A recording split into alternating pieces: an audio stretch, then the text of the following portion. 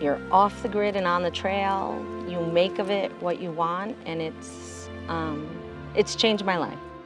Our first night was in Mürren, beautiful town. We really loved it. Gorgeous. The We cried a little getting off the train, but we were shocked. We it was it's Mürren's like on the side of the on the side of the hill, right above Glacier's that. right in front of you. Yeah, glacier's right in front. We've never seen a glacier before. We don't have glaciers in New York. Wherever you're sitting, there's a beautiful, gorgeous, gorgeous view. There's Yeah. like You No turn your back view. on a view, and you no have a bad view. The cliff walk was amazing.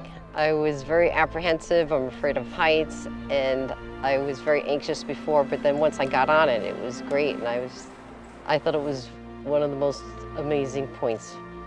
Dee Dee made me go because she's like, we are never going to be here again. We're here. Once in a lifetime chance. Best memory of this trip are the colorful little trains, perfectly on time, taking where you want to go. The Eiger Trail was unbelievably beautiful, and it felt so real. And we kept on saying, "This is fake. This isn't. This isn't real."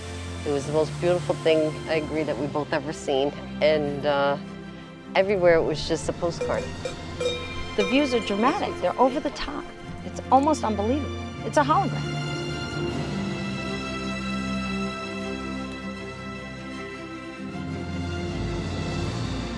I talk about Macs Adventure all the time, like people want me to shut up. And I talk about hashtag walking holidays constantly. But you think you can't do it, but it's just walking at your own pace. You can do it and do it because you won't. It's transformative and you'll be a different person after. I'm a different person. It's what I do. I'm an adventurer.